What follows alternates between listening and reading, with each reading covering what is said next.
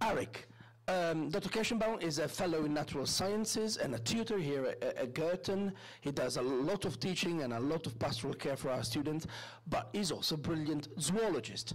Um, a Cambridge graduate, he has worked in Israel, he has worked um, in the United States, and most recently he has published The Zoologist's Guide to the Galaxy. By the way, there are a few copies on sale for 10 pounds in the back of the room uh, for after the talk. Um, and I fear this is what we're going to hear about today. So, Arik, over to you. Thank you very much. Thank you, thank you. Can you hear me? Is this loud enough? Yeah? That was good. Okay, so I'm going to talk about how we can start to talk about alien life in a sensible and in a scientific way get away from science fiction, get away from conspiracy theories, and, and, and get away from our lack of knowledge because we're living in a very, very exciting time. We believe that it's very likely that we will discover signs of life outside of our planet probably within the next couple of decades, in the next 20, 30 years. So we need to start thinking as scientists what that means what it means in terms of what kind of life there might be and what it means for our understanding of life in general and how life arises and how, how life evolves. Now, you might think it's really difficult to do any scientific research on something that we've never seen and we don't know about, we don't even know whether it exists. But that's where I want to, that's the point I want to make. We really can say quite a lot about alien life without even having seen it.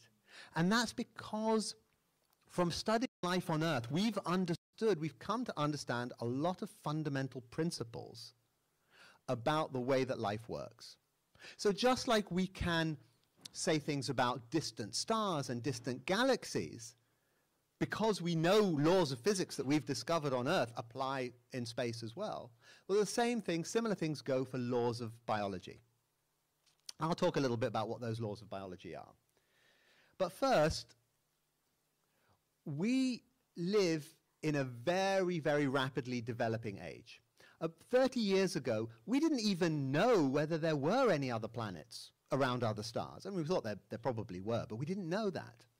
Since then, since the discovery of the first exoplanet, there have been thousands, thousands and thousands of planets discovered far, far from our solar system, and many different kinds. So there, there are rocky planets, there are, there are lava worlds, there are all kinds of different, different planets around in the galaxy.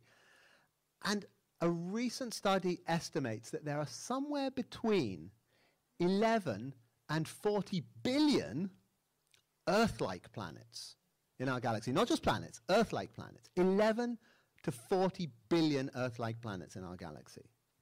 That is a lot of Earth-like planets.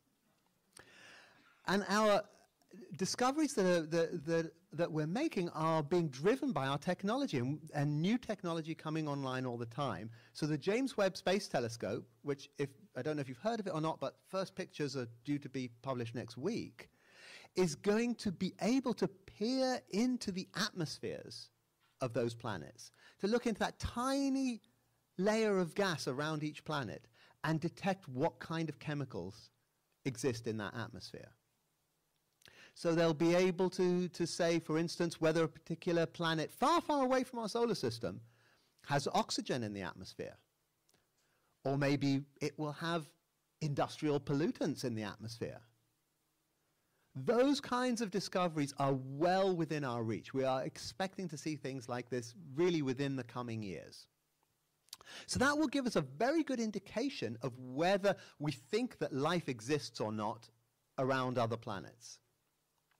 The problem is, of course, that finding oxygen in an atmosphere or something like that might tell us that there's life on a planet. It won't tell us very much about what that life looks like and what it behaves like. And for that, unfortunately, all we have at the moment is science fiction. Now, science fiction ideas about what aliens are like are driven largely by what the authors think they should look like. What would make a good alien? What sounds like a sensible alien? And also, of course, constraints of makeup and, and, and stuff like that, and, and how much money you want to spend. The thing that science fiction doesn't think about is why aliens are like that. How did they get to be like that? You can't just make up a, a, a, look or, or a shape or something like that and say, well, I think that's what it should be like. The question is, how did they evolve? And it's the evolution, it's the evolutionary pathway that will tell us about what aliens really look like. So let's go back and think a little bit about, about how life evolved and what's the process by which life came into being, on our planet at least. So life on Earth is extremely old. A life began on Earth not long after the Earth cooled enough for, for liquid water to exist. So very, very old, about 3.8 billion years old. But if you look at this timeline, from when life began here, almost the entire 3.8 billion years, about three of those 3.8 billion years, life on Earth was very, very simple. It was basically pond scum. And modern, modern creatures, things that you might recognize as being animals and plants and things like that, really only came into existence uh, somewhere between half a billion and, and, and a billion years ago. So if we were to discover an alien planet, just sort of pick it randomly at some point in its history, most likely what there will be on that planet is nothing more than, than slime, um, bacterial slime. Now, there's, of course, we, we can't be sure. That we, we could find planets that have complex life and that have, and that have um, uh, more complex animals and, and, and, and plants or their equivalents.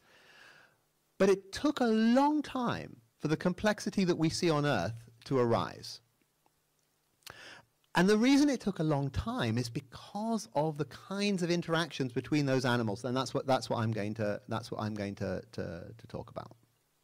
So my book um, deals with those steps, those steps that life took on the way from being simple to being complex, and what we can understand about those steps, and what part of those, of those innovations we can say more about or less about. Things like movement, things like communication, how organisms communicate with each other. These are things that we can, that we can analyze from a scientific perspective without being constrained to, to what's happening on Earth. Now, the starting point for all of this, the starting point for any kind of reasoned argument about what alien life might be like, is the most fundamental thing that we know about complex life. And that is that it must have evolved through natural selection. We know that organisms today are more complex than when life evolved 3.8 billion years ago. If you take a crow, an intelligent crow, and you ask, how did that happen when life began as pond scum? Well, the only way that that complexity can accumulate. The only way that life can get more and more complex to the point where we have humans and, and crows and, and snails and, and trees, the only way that complexity can accumulate is through natural selection. And that's really, that's really the key. We understand natural selection pretty well. In the last 150 years, we've, we've made a lot of discoveries and, and, and have a much deeper understanding of how evolution by natural selection works. And that is a universal process. If complex life exists on other planets, it's there because of natural selection. In fact, if life exists on other planets at all, it's there because of natural selection. Because even the simplest organisms, even those, those bacteria, those very, very simple creatures that were the first creatures that existed on Earth, they are vastly more complex than the soup of chemicals that preceded them. So somehow that soup of chemicals became bacteria. And that also is a process of, of, of, natural selection. So by understanding the way that natural selection works, we can understand what's, what's going on in the evolution and the, and the development of complexity and life on, on other planets. But natural selection isn't the only thing the only tool that we can use for understanding alien life. Life in general is highly constrained, and it's constrained by the laws of physics. So if you think for a moment that you're an animal that wants to move along a solid surface, how are you going to do it? Well, you need to have friction because otherwise you can't exert a force on, on the ground. But you don't want too much friction because that slows you down.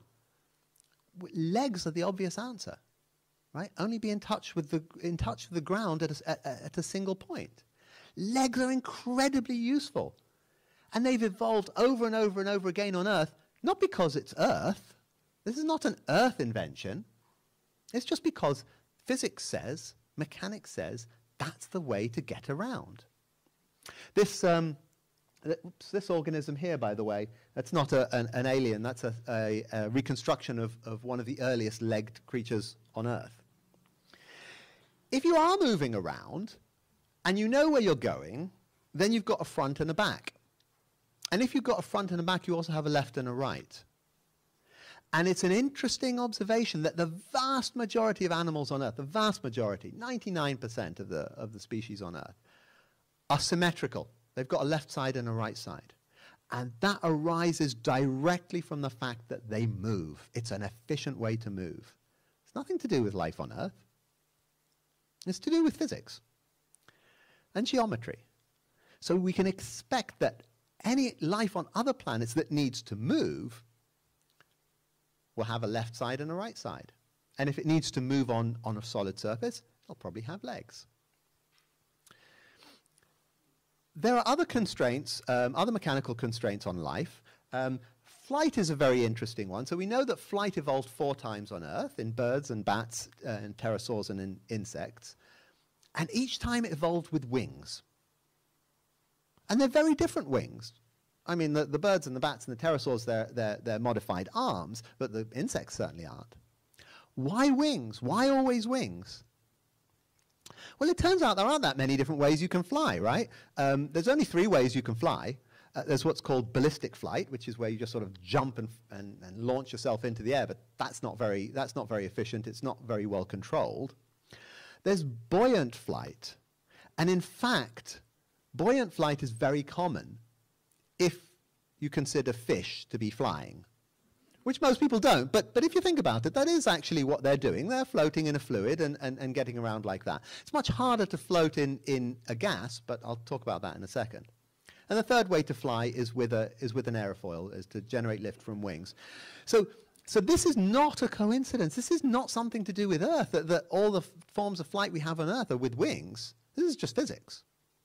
We could expect flying creatures on other planets to have wings as well. But what about buoyant flight? That introduces a very interesting question. Why aren't there any flying whales?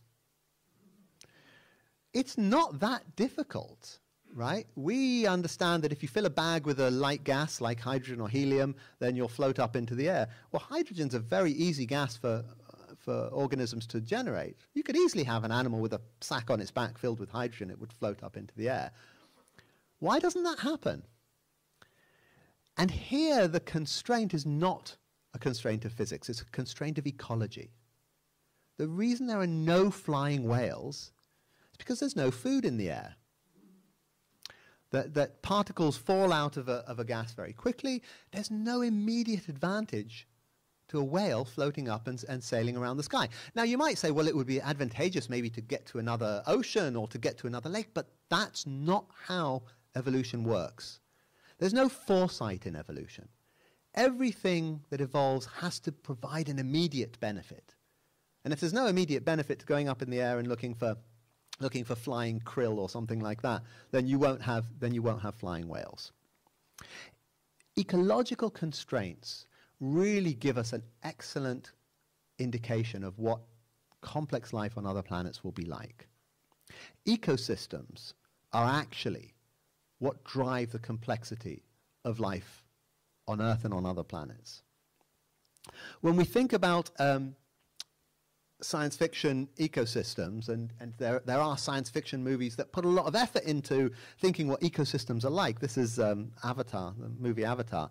Um, and you might think, well, you know, they've just sort of like taken Earth creatures and, and, and made them look a little bit alien. And, and is that true? Maybe there will be nectar sucking dinosaurs and, and um, winged apes and, and, and things like that on other planets. How much of this is just projecting our own understanding of, of, of ecosystems and how much of it is realistic?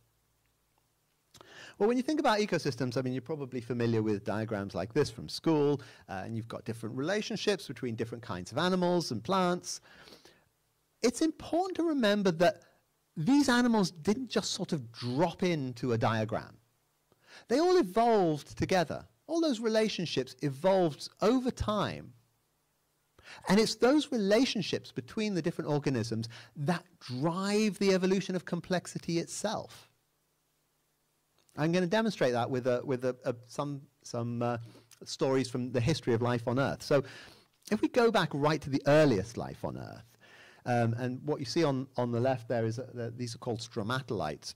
The modern ones at, at the bottom, and th that picture at the top is, is one of the, it's a fossil stromatolite. It's one of the oldest fossils of life on Earth. It's about three and a half billion years old. And what these stromatolites are are basically they're bacteria. And they, they, and they live in a, in a, in a mat. They just, and they grow out of the, these, these um, structures grow out of the, of the warm oceans. But all of these unicellular animals are living together in a community. On the right there, you see what we call a bacterial uh, biofilm. So these are bacteria living in one place, and they're surrounded by this sort of slimy uh, substance that they, that they exude, and they're all in a community. They're competing with each other, they're cooperating with each other, they're communicating with each other using chemicals to send messages what, uh, what nutrients are, are, are, in abundance, what nutrients are, are, in short supply. This is actually a, an interacting community of bacteria. You can't avoid living in a community if there are lots of individuals. And so already, right at the beginning of life on Earth, there were interactions between, between organisms.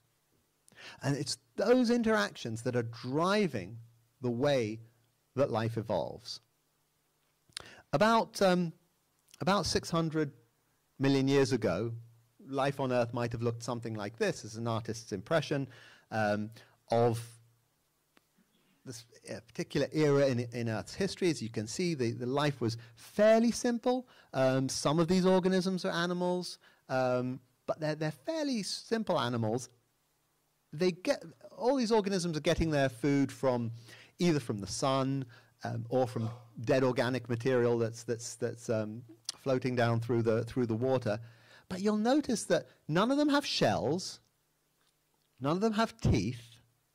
They don't seem to be doing a lot of eating each other.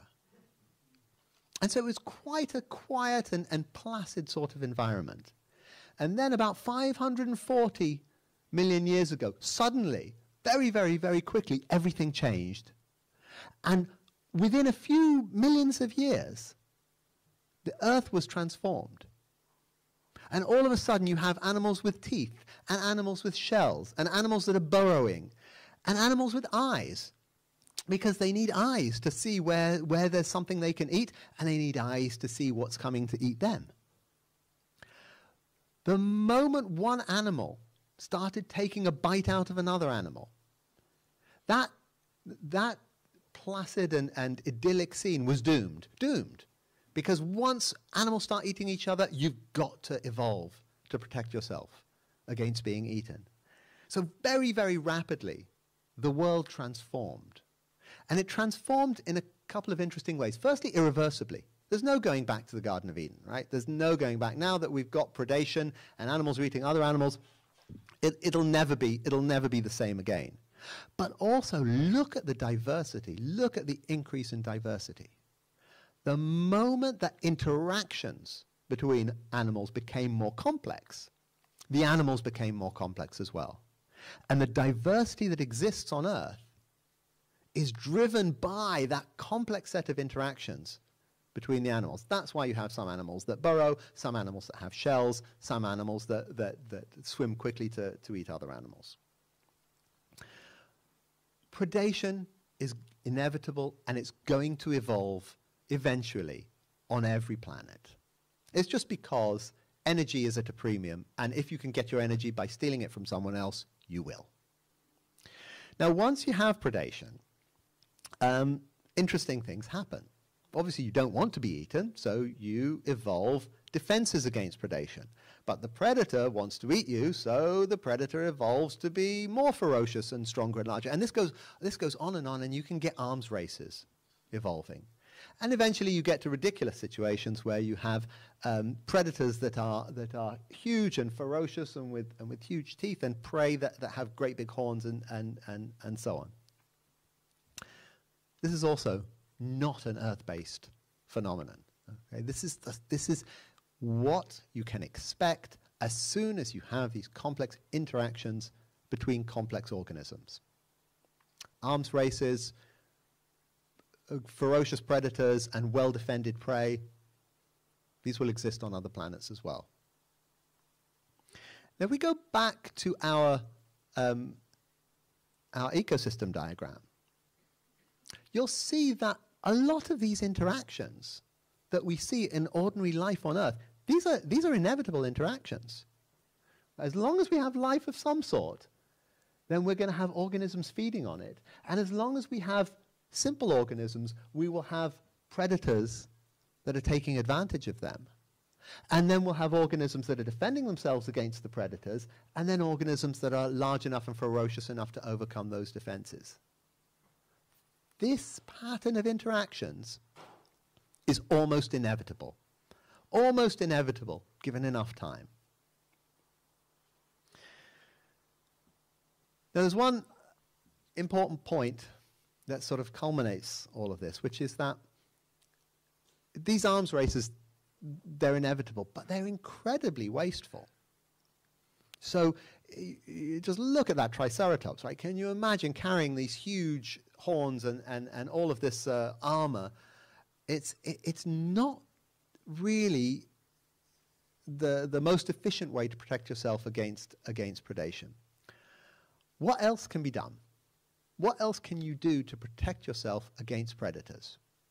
Remember, in, in evolutionary terms, if there's an opportunity to exploit a niche, it'll probably get exploited sooner or later. What other opportunities are there? There is another opportunity, which is very common on Earth, and is almost inevitable to evolve on other planets as well. And that's living in groups. Living in groups is tremendously beneficial has all kinds of benefits. You can defend your territory against other animals. You can find food better. You might cooperate to be able to find food resources. You can protect yourselves against predators by, by calling an alarm call and then warning all of, your, all of your colleagues. You can cooperate to solve complex problems, perhaps complex building problems, perhaps building a, a communal defense or a nest or a warren or something like that. You can cooperate to look after the young, to raise the young. Very, it, really living in groups is, it has, has a lot of, a lot of beneficial elements to it. It's, group living's evolved many, many times on Earth, and we can absolutely expect it to evolve on other planets as well. But if you look at that last picture, that reminds us that group living is actually quite difficult. Well, I think we all know that living in a, in a society this brings with it a lot of problems. There are a lot of interactions with other individuals that need to be managed. You need to remember who your friends are. You need to remember who your enemies are. You need to remember who your friends' enemies are. And it gets really quite, quite complicated. And intelligence, social intelligence in particular, goes hand in hand with the evolution of societies all of these animals that live in groups have to have the ability to manage relationships, to understand relationships, to know who to, who to rely on and who to exploit. And that requires considerable intelligence. It requires communication as well. There needs to be a complex communication between those individuals. So I think you can see where I'm going with this, which is that step by step, starting from the bacterial slime, the series of events, the series of evolutionary events that led to the world that we know today and the existence of humans that we have today, none of those steps were particularly unusual or particularly specific to planet Earth. Not saying humans are inevitable, but they're certainly not an exceptional evolutionary pathway, given enough time. I mean, it's taken three and a half billion years for, for humans, 3.8 billion years for humans to, to evolve on Earth. We don't know if that's very fast or very slow. We only have one example, so we can't really tell. We do know that most planets, Earth is a relatively young planet, so there are a lot of older planets around in the galaxy. So, sort of summing up what we can say about what alien life is going to be like. Well, the first thing we can say is that all life needs energy. We know this. This, this, is, this is essential for life because life exists out of equilibrium with the rest of the world. So it needs energy to maintain that equilibrium. On Earth, most energy for life comes from the sun. And that's a really reasonable place to get energy. And most planets will have plenty of sunlight. Um, it's not the only place to get energy. And there are planets, for instance, with, with underground oceans where sunlight wouldn't be a, an option. And there are other sources of energy there from, from the, the heat of the planet's core and, and other places where, where you could get energy from.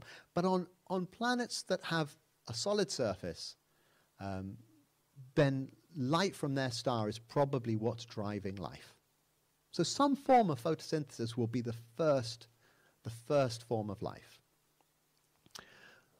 I said that predation is inevitable. It is inevitable. Even before that dramatic transformation that occurred 540 million years ago, um, there were organisms eating other organisms, all right? Those stromatolites, those, those bacterial mats were grazed by, by other bacteria, by unicellular organisms that were just sort of amoeba-like things that would crawl around on top of them and, and, and, and, eat them. So, so taking your energy from other organisms is absolutely inevitable. It's going to happen on any planet. Once you have predation, there is a clear advantage to being able to move and to move effectively and to move quickly so that you don't get eaten. And that's going to lead to the evolution of symmetry and if you're moving on a solid surface of legs. Now, of course, not all organisms on Earth move to avoid predation. Plants don't. They just sit there and they put up with it. But it's easy for plants because they get all their energy from, from, from the sun anyway. That's an interesting discussion about why plants don't move, but uh, we could talk about that later if you like. In any case, we can expect at least some organisms on other planets to be symmetrical, moving, and probably with legs as well. One thing that I haven't talked about, I haven't had time to talk about because it's a huge subject, um, is sex. Can we expect some form of sexual reproduction to exist on other planets? This is a favorite theme of science fiction authors. Uh, that's not the sense in which I mean it. Um, but there are reasons to think that some form of sexual reproduction probably is necessary for the complexity of life that we see on Earth. Uh, but that's a huge, uh, that's a hugely contentious topic. That's why I haven't really introduced it. But it's, it, it's likely. And, and I, put that, I put that here because of, of the next one. I said that group living is essential. But group living we can also call family living. And that's because organisms that live in a group, um, whatever happens, whether there's sex and parents and children or, or, or not, organisms that live in a group are more likely to be related to each other than they are to organisms that are not in their group. Just from sort of uh, spatial considerations. So you could call that a family. And once you have organisms that are more related to each other than they are to other organisms, then they cooperate more. And that's just one of the laws of natural selection. Once you have families, once you have groups that are cooperating, then you need that social intelligence, you need that social communication. And sooner or later, that intelligence and that social communication will evolve into language, will evolve into technology, and the rest, as they say, as they say, is history. So, I hope that I've, I've imparted to you, so, or at least convinced you a little bit, that understanding what alien life is going to be like is not impossible, but basing it on, on what we understand about life on Earth, what we understand about evolution and how evolution works, we can make some pretty good, some pretty good guesses about what we're going to find in the 20, 30, 50, 100 years to come.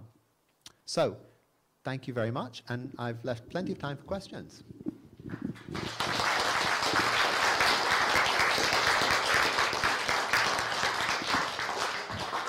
Thank you very much. Uh, I have a rolling microphone, and I already see a question here. Thank you. You made the basic assumption that people accept that life has evolved through natural selection.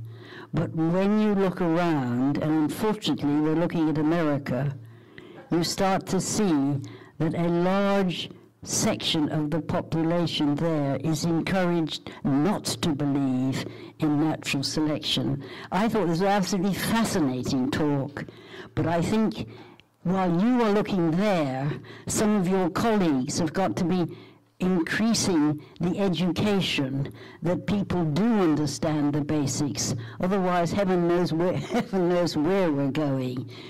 And, and we even had a situation perhaps we better not bring Northern Ireland into this, where the leader of one political party was apparently a 4004 BC believer. Yeah, yeah. So, so there's two dimensions to that. One is how do you deal with um, people who, who, who, genuinely don't believe in, in natural selection and don't believe in, in, in the age of, of the earth and the universe. And the other is, is a much more difficult question of why am I so certain that life evolved through natural selection? Um, so, and I address this to some extent in, in my book as best I can. It's actually quite difficult. But there are a couple of things about natural selection that, that make it very compelling. I mean, one is that we, there is no other there, there is no other mechanism that we know about except and here's where the, the young earth people are correct except that life could have been engineered by another intelligence it's possible um, of course, we still need to explain where that other intelligence came from. So we've got to come back to, to natural selection at some point. But there are plenty of, of, um, uh, of biologists and, and, and astrobiologists who think that when we discover life in the universe, what we will discover is artificial life, life that has been created by some other civilization. Well, perhaps, but, but that doesn't explain where, where the other civilization came from. But the key thing about natural selection that I think a lot of people who, who a lot of creationists don't understand is that natural selection isn't optional. It's actually it, it's actually necessary. In other words, given a certain set of circumstances, natural, the operation of natural selection is a mathematical certainty. So you can't, you, you can't, obviously you can't say for sure whether this is the cause of the, the complexity that we have, but we know that given uh, organisms that reproduce, that pass on their, their, their traits to their offspring, that have variation, and that have differential fitness, so some are more fit than others, in that situation, you will get natural selection. You get it with organisms, with life, you get it with computer programs, you get it with internet memes. You know, it, it's just a mathematical process um, that, that will take place. Right. Thank you. I'm going right back to the beginning of your talk, searching for oxygen. Now, there are rare examples on Earth of organisms that don't need oxygen. Um, so, are you looking for anything else in other planets where you could have a completely non oxygen based um, Yeah. fauna or flora. Yes, and, and indeed, the first life on Earth didn't use oxygen. Um, no, the thing about oxygen, the reason that, that uh, people want to look for oxygen is that it's a very reactive chemical. So if you were to find a planet with lots of oxygen in its atmosphere, that wouldn't really make sense. It would be like, wh- why is there all that oxygen in the atmosphere? Because you'd expect it to react with the rocks and, and to disappear. So, so what we're looking for really is situations that look like they're out of equilibrium, look like they shouldn't be there. Um, if you remember a, a, year, a year or so ago, uh, people claimed they had discovered this phosphine gas on Venus. Now, we don't really know whether phosphine gas is a product of, of life. The, the point is, it, we didn't expect it to be there. Um, and it couldn't be explained by sort of ge- uh, geochemical reactions. So, so it's really looking for those out of equilibrium situations. As far as life and oxygen goes, there are good reasons to think that, that oxygen is very useful for life. It's, it, because it's so reactive, it's a good way of carrying energy from one place to another, and that's what life needs to do. Um, but you're quite right, there's certainly other, other things that, that I think people are just looking for anything that looks unusual. Really interesting talk. Um, I'm slightly worried I came in late, so I may have missed some of it. But um, how? I mean, are you saying that alien life somewhere else in the universe is very likely? Um, and um, if so, why haven't they arrived yet? So, right, so, so one of the early slides was um, up to 40 billion Earth-like planets in our galaxy. So if you're going to play a numbers game, it's very difficult because, of course, we don't know the probability of life arising, but there certainly were, there's certainly a lot of places in, in the galaxy, just in our galaxy, where it could arise. Not so long ago, there was a lot of debate over how likely that step of non-life to life was. So, how likely is it that a, that a, a, a pond full of chemicals could become alive? And a lot of people thought that was very unlikely, extremely unlikely. It's become a huge field. I mean, there are a lot of research labs, including several here in Cambridge, that are looking into this now and investigating new ways in which you could get that transition from non-life to life. There's a new research institute in Cambridge, the Leverhulme um, has funded this, this great big research group in Cambridge, and we're finding that there are probably more ways that that could happen than we thought previously. So going from non-life to life is probably less unlikely than, than we used to think. Um, why haven't we seen, why haven't aliens come here? Well, one answer again is, is just it's been 3.8 billion years since life evolved on Earth, and it's been 100 years since we could send signals into space. So, you know, do, do, do the calculation. The vast, vast majority of these, these worlds out there will not have technological life forms on them. But, but some of them might, be well ahead. I mean, who says Earth started might. That's true. That's true. And Earth is Earth is a relatively young planet, but just to give you the numbers, right? So Earth is so life has been here for just under four billion years. The universe is only 14 billion years, right? And and Earth-like planets could only evolve as a second gen- from second generation stars. So so there's, we can't be that far behind. There just hasn't been that much time in the universe.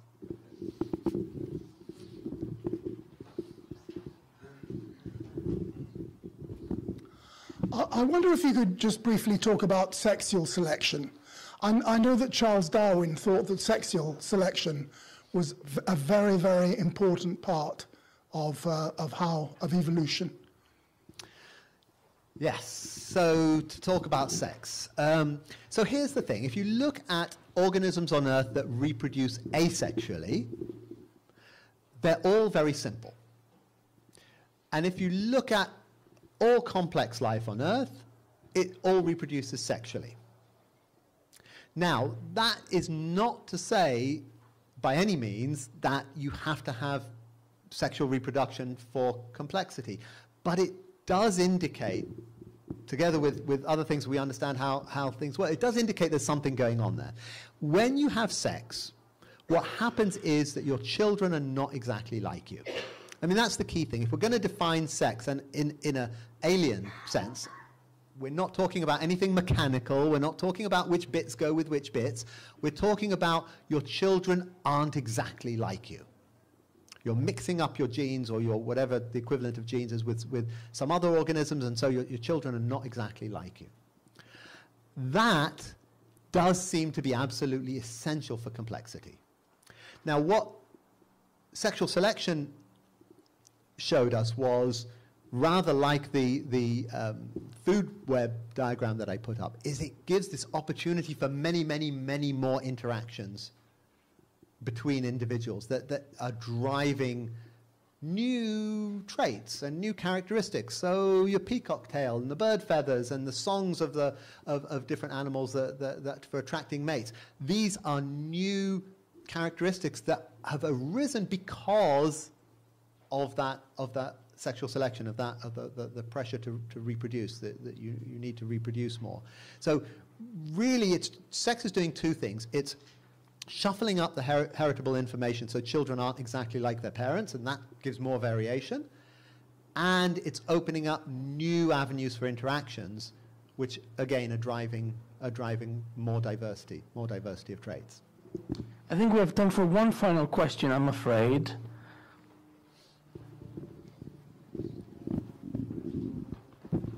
Thank you.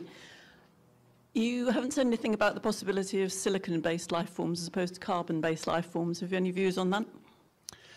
Well, one of the things that I do um, is I try and ignore the chemistry completely. Um, because whatever basis life is, it, um, on whatever basis life is built, the evolutionary arguments will still be the same. Now, having said that, uh, and, you know, and there's a lot of argument about different biochemistries. Must it be carbon? Must it be using similar sorts of, of, of chemicals to, to what we have?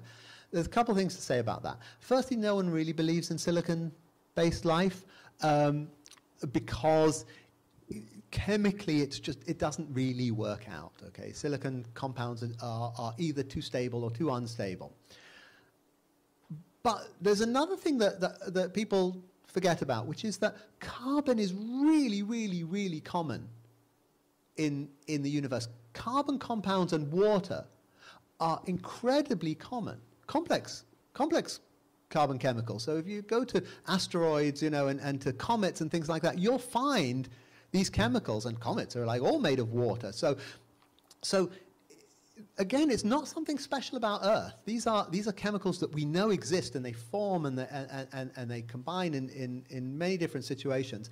Um, so people are investigating novel biochemistries. We don't, we're not saying that life is based on DNA necessarily, um, but it does seem that carbon is common and it has those chemical characteristics that would support complex chemistry. So, so yeah, we're pretty much we're pretty much fixed on carbon. Thank you very much, uh, ladies and gentlemen. Just a reminder that Arik's book is at the back of the room, just for ten pounds. Um, we are cash only, I'm afraid. But uh, before wishing you a pleasant remainder of your day, I think if you have been fascinated like me by this talk, just we should give him a big round of applause. And thank you very much. Thank you.